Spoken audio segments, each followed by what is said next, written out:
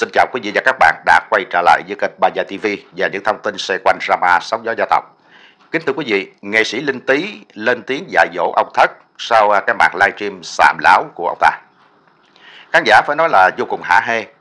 Thưa quý vị, sau phiên tòa hòa giải, ông Thất là cái người đang tỏ ra phải nói là hả hê và có rất nhiều niềm tin về một cái chiến thắng cho mẹ con của Gia.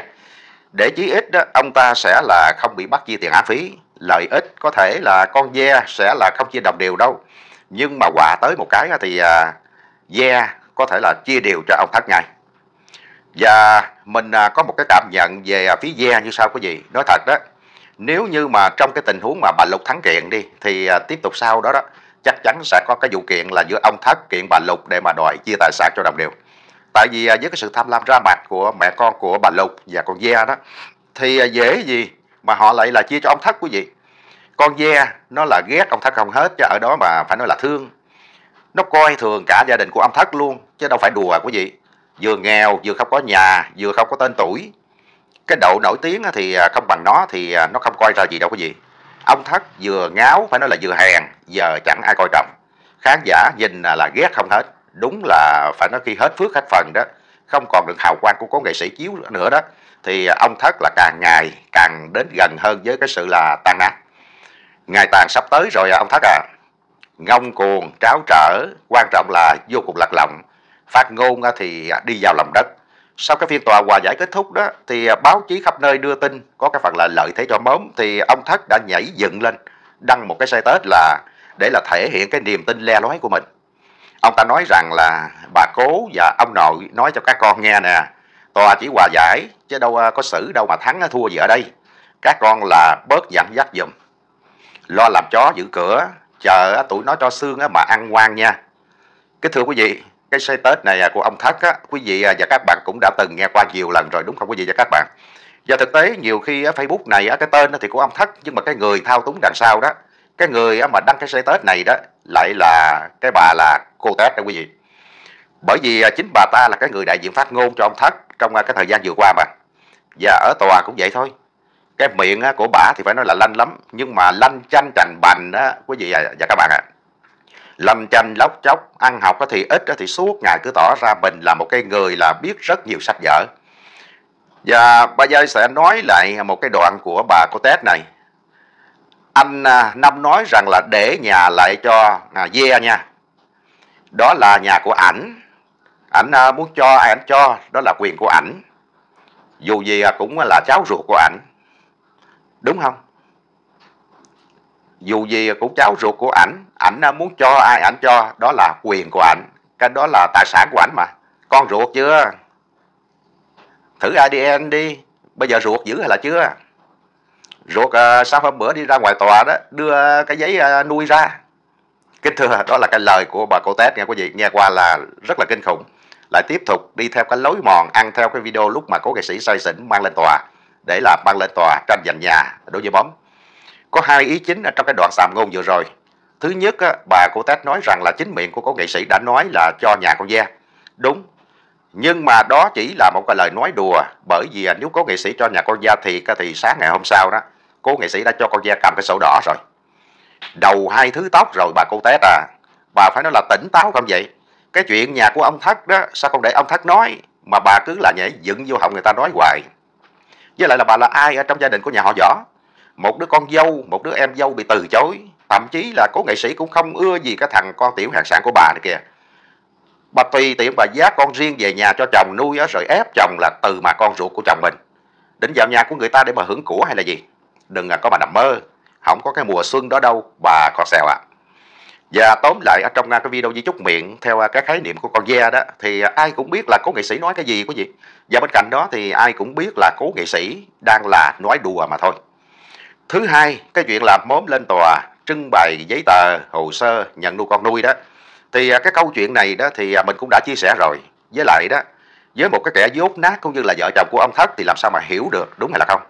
Cái chuyện này cơ bản là gì khi mà mốm đó được à, má tư ẩm về nhà theo lệnh của bà nội của mốm khi đó chưa làm giấy khai sinh cho mốm mãi đến khi là mốm được 5 tuổi vào năm 1992 đó thì à, phải đi học cho nên là phía gia đình lúc ấy mới giật mình và đi làm giấy khai sinh cho móng vì làm chậm trễ tận 5 năm cho nên để hợp thức quá giấy tờ đó buộc là phải làm giấy là nhận nuôi con nuôi cho mớm, rồi từ đó mới làm giấy khai sinh cho mớm được. Cho nên cái chuyện là mớm trưng bày giấy tờ nuôi con nuôi á, thì cũng chỉ là làm theo quy trình của pháp luật mà thôi. Quan trọng đó là những cái giấy tờ đó là do phía quỹ ban nhân dân cung cấp. Cái chuyện phải nói là rõ ràng như thế và phải nói là mấy người ngờ u quá không hiểu. Hai vợ chồng già là bảy báo ngáo của Tết à. Với lại cái việc con nuôi hay là con ruột không quan trọng hay là không? Khi mà ra tòa đó thì à, chúng ta chỉ nói về cái chuyện hợp pháp mà thôi. Và rõ ràng mớm đã là con hợp pháp. Và trong à, cái đoạn mà bà cô Tết vừa rồi, quý vị sẽ cảm nhận một điều là bà cô Tết bà diễn khá là tốt, cũng đúng, bởi vì dù gì bà cũng là nghệ sĩ cải lương mà. Nhưng mà tiếc rằng lên sân khấu là không có diễn được như vậy. Ở đây ăn cắp, ăn trộm thì diễn hay quá trời quá đất. Diễn cái nét mặt là nhìn thấy tự tin, phải nói là vô cùng tự tin luôn quý vị. Bởi vì lỡ vô dai rồi mà, cho nên là diễn cho hết tuồng. Thành ra mới ăn nói đâm hơi tào lao như vậy đó quý vị. Quý vị cũng thấy, lên livestream thì mạnh miệng mạnh mồm, ăn nói thì thao thao bất tuyệt vậy đó. Vậy mà bà khọt xèo này đó chỉ là cái kiểu là khôn ở nhà chứ ra ngoài chợ đó thì phải nói là ngáo vậy lắm. Hồng Ni cũng vừa tiết lộ một cái điều thú vị tại tòa hôm trước như sau. Ni đang thắc mắc là lúc livestream, cọt xèo Quý Phi nói chuyện rất là lưu lót, tròn dành rõ chữ. Sao mà cái lúc ra tòa đại diện à, cho chú Bảy Thúc Thúc nói chuyện à, một cách là lưu mờ vậy ta? Kính thưa quý vị, Hồng đi đã nói đúng mà còn nói to nữa quý vị cái kiểu này đó thì à, bà cọt xèo bà nhột phải nói là chắc chết luôn quý vị bởi vì người ta nói là giấy đâu có gói được lửa phải không quý vị tuy là trong cái phiên tòa các cái youtuber không vào ở trong livestream được nhưng mà những cái người ở trong cuộc đó người ta nhìn thấy hết cái sự là nhơ nhuốc của À, ai kia. Vì à, phiên tòa vẫn chưa kết thúc, cho nên là phía Hồng Ni là chưa chia sẻ những cái câu chuyện cạch cộm ở trong phiên tòa ngày hôm trước. Đợi đi quý vị, đợi khi mà phiên tòa kết thúc cái phần thắng thuộc về mớm đó, thì khi đó tất cả mọi việc sẽ được là dạch trần. Trời đất quỷ thần ơi, ta nói lúc đó là quần đầu cả năm không hết luôn quý vị. Và cái thưa quý vị, những cái phát ngôn vừa nãy của ông thất và bà cọt xèo chưa có gây cấn lắm đâu. Và tiếp là cái đoạn của ông thất. Vừa xong phiên tòa hòa giải thì cũng mạnh miệng lắm bà khọt xèo thì à, nói là yeah, sẽ thắng một trăm phần trăm nhờ vào cái di chúc miệng. Nhưng rồi đó thì ông thất lại phản kèo bằng à, một cái câu là thắng thua không quan trọng. Bậy rồi, quan trọng à, lắm đó ông thất à chứ không phải là không quan trọng đâu. Bốn thắng là đồng nghĩa, các người sẽ đội quần thiên thu. Bốn thắng đồng nghĩa đó là ông thất phải chịu án phí. Bốn thắng là đồng nghĩa với tất cả những cái lời công kích khi xưa của các người đó sẽ được quy chụp là cái lời du khống bịa đặt cẩn thận ăn từng lá đơn kiện coi như là xong hết. Bốn thắng cũng đồng nghĩa là con ve sẽ là tiếp tục đối diện với cái vụ sao kê. Rồi à, từng đứa từng đứa tham lam phải nói là sao loài cái bà mặt ra hết. Nghe chưa thật chứ ông thất mà thua kiện á, là có nhiều hệ lụy lắm đó ông thất à. Và quan trọng hơn nữa là bất kỳ ai cũng à, có quyền là công kết ra cái chuyện con ruột con nuôi của mớm. Còn riêng về ông thất thì ông thất không có cái tư cách bởi vì cái bản thân của ông đó làm cha còn không xong nữa mà con ruột thì à, mình từ mạt con quan thì mình gom về để mình nuôi. Cái chuyện à, mớm là con nuôi hay là con ruột thật sự đó, nếu mà tôn trọng anh năm của ông đó, ông phải là ngậm cái họng của ông lại. Ông mắng, ông chửi mớm về cái vấn đề con nuôi, con ruột như thế đó, là đang thể hiện cái sự là thiếu tôn trọng là anh năm của ông rồi đó. Nói thẳng là ông là mất dạy với ông anh năm ông đó.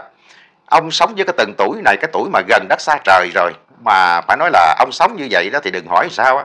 Con cháu nó ghét, thiên hạ nó nhìn vào chỉ à, muốn là nói chung là không muốn nhìn thấy mặt ông và mới đây đó Linh Tý cũng chính thức lên một cái bài để mà già dỗ cái sự là ngáo của ông Thách.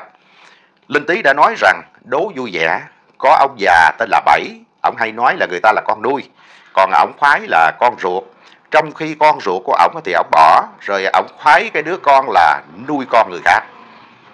Vậy á, hỏi cho cùng đó là ông Thất phái con nuôi hay là con ruột? Trời ơi, tới đây là nghe xong cái lời chia sẻ của Linh Tý thì chắc ai kia nhột lắm không? Vừa nhột quá mà còn nhục nữa. Ông Thất, ông khoái à, cái câu là con ruột giữ chưa đối với mớm. Vậy á, ông à, Thất à, dám trả lời cái câu hỏi của Linh Tý hay là không? Linh Tý nói ngắn gọn vậy thôi, nhưng mà từ nào cũng là đấm thẳng vào mặt của ông Thất một cách gọn hơ thôi. Đã dễ sợ luôn. Bản thân của ông Thất à, sống có ra cái gì đâu. vốn dĩ là nếu mà có sĩ diện của một cái người đàn ông đó, thì trong cái chuyện này, ông Thất phải là ngậm cái hàm lại. Bởi vì từ đầu là bản thân của ông Thất đã sai rồi. Càng nói thì càng sai, chứ chẳng được gì. Con gái ruột ngoan hiền thì ông từ mà. Chỉ vì cái người con gái ấy là không chịu theo ông để mà cướp tài sản của bấm Rồi à, ông chọn cái cách là đi theo cái lũ lan sói cho nên bây giờ là ông thất có hối hận thì cũng đã muộn màng. Ở chung với sói không trung thành đó, nó cắn cho mà chết luôn mà thôi. Kính thưa quý vị và các bạn, và bây giờ Ba Giai xin khép bản tin này lại tại đây. À, ba Giai xin cảm ơn tất cả quý vị và các bạn đã nghe hết bản tin này. Ba Giai xin chào và hẹn gặp lại quý vị và các bạn trong các bản tin tiếp theo.